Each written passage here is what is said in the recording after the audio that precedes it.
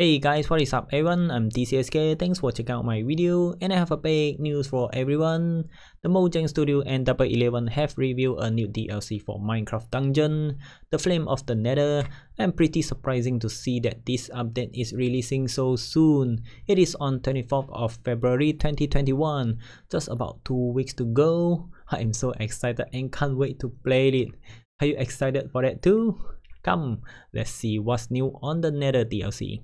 It will have 6 new missions, new gold currency, new piglin merchant, new monster, new gears and artifact, 2 new skin, and a baby ghast pad. And they are also bringing free updates to the game, who doesn't like free stuff? And that will be endgame content. It introduced procedurally generated endgame mission known as Ancient Hunt that weave through the nether. By defeating ancient monster and making it out alive, players can earn top tier gilded gear. Finally guys, and endgame content. I did mention endgame content update in my last video. You can check that out at right top here or down there at the description. It has 10 new features update you would like to see in the next update and one of it is the endgame content. So make sure to check that out. And the next one is some changes to Apocalypse Plus. What's the change? Reduce difficulty or there will be Apocalypse Plus 50? Uh, I don't know.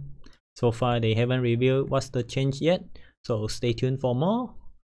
They have released an official artwork for the Flames of the Nether DLC. It is right behind me. I think we can find some clue on the new update in the artwork. Now uh, let's see um, on the left top a new monster looks like a flying spider to me.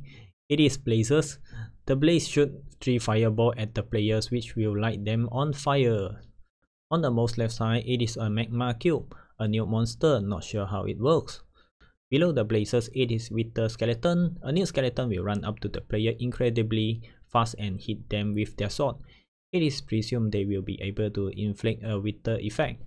Beside Wither skeleton, you can see there is two piglin. The jumping one is piglin with sword. The back one is armored piglin. Ooh, can you see this cute little hoglin? Not sure if they do attack or just neutral monster. Now on the right side here you can see another piglin with crossbow. And at the back you can see a piglin is waving at us. It is the new piglin merchant. I believe the new gold currency will use on him to buy some new good stuff. And beside the piglin merchant, there is this tiny little square thing. It is a new baby ghast pad. It is purely cosmetic and does not attack enemy. At top of the piglin merchant, it is a big ghast. Looks like a flying octopus to me. Not sure about its behavior. Let's see what else. Uh, at the back of this guy, he is holding the new warp bow and wearing new piglin armor. The left one, I believe he is holding the new crossbow and wearing new crimson robe. The right one looks like he is holding a new huge ice cream bar to me, not sure what is that new weapon and he is also wearing new warp robe.